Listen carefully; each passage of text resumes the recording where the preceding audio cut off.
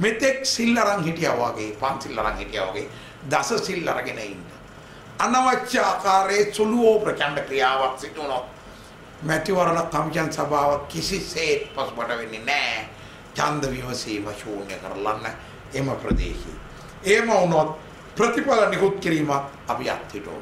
අපි කියන්ට අවශ්‍යයි මේ දේ අපි කරලා තියෙනවා අපි 2010 දී නැගිටින පළාතේ එක දිස්ත්‍රික්කයක මධ්‍යම පළාතේ එක දිස්ත්‍රික්කයක ඡන්ද ප්‍රදේශයේ නැගිටින පළාතේ එක ඡන්ද පොලක මධ්‍යම පළාතේ ඡන්ද පොළවල් 30ක් 40ක් විතර සංඛ්‍යාව. කරුණාකරලා නීතියට අනුකූලව ඇසිරෙන්න. මෙය ඉතා තද බල ඉල්ලීමක් මෙන්ම අවවාදයක් කියලා සැලකුවට කමක් නෑ.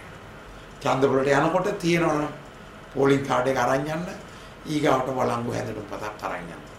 ඡන්දෙ දෙන්නකොට ඡන්දෙ විතරක් දෙනවනම් එක ලකුණු කරන්න තමයි කැමති අපේක්ෂකයාගේ ලකුණයි ඉස්සරහින් තියෙන ඉස්කොටුවේ මනාව දෙනවා එක සහ දෙක දෙන්න පුළුවන්. එතකොට අපේක්ෂක දෙන්නෙකුට අපේක්ෂක තුන් දෙනෙක් තෝරගත්තොත් වැඩියෙන් කැමති කෙනාට එක ඊගාව එක්කෙනාට දෙක ඊගාව එක්කෙනාට තුන ඒ ඒ අදාළ අයගේ තීරුවල දෙන්න පුළුවන්. ඡන්ද විතරක් දෙන්න පුළුවන් අනිවාර්ය නෑ මනාව දෙන එක එක දාලා එන්න පුළුවන්. හැබැයි තමන් ඡන්ද විතරක් දෙනවා නම් කතිරේ විතරක් දාලා එන්න. තමන් ඡන්ද විතරක් දෙනවා නම් කතිරේ විතරක් දාන්න. ඒක හොඳටම ප්‍රමාණවත්. කතිරෙත් එක්ක වෙනත් දේවල් ලියන්න අදින්න යන්න එපා. ඔබගේ ඡන්ද පත්‍රිකාව පරීක්ෂණාගාර මීයක් නෙවෙයි. ඒකෙන්ද එක එක රිසර්ච් ප්‍රැක්ටිකල්ස් එහෙම නැත්නම් එක්ස්පෙරිමන්ට්ස් කරන්න යන්න එපා.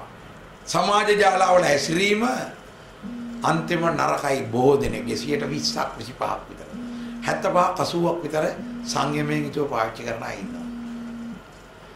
අපේ සම්ප්‍රදායික මාධ්‍ය නම් රූපවාහිනී ගුවන් විදුලිය සපත්තර මේ දවස් තුනේ නම් යම් ආකාරයක පාලනයක් තියෙනවා.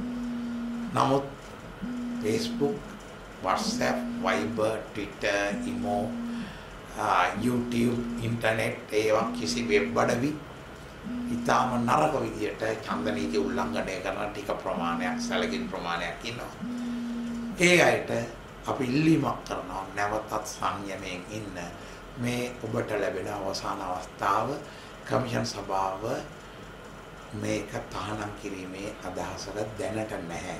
නමුත් අපට තදින්ම මේක ඊටාම නරක විදියට හැසිරුණොත් නවත්තනවා ඇරෙන්න වෙන කල්පයක් නැහැ.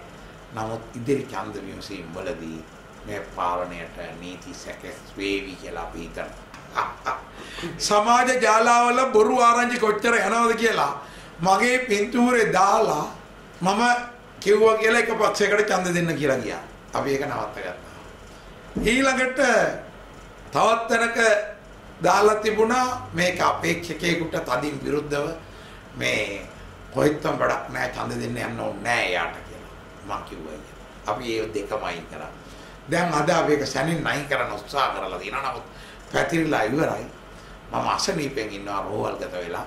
ඒක නිසා මේ ඡන්ද ප්‍රතිඵල දෙන්න වෙන එකක් නැහැ කියලා. එහෙම එකක් නැහැ. මේ යසට වෙනදටත් වඩා ශරීර ශක්තියෙන් යුතුව ඉන්න.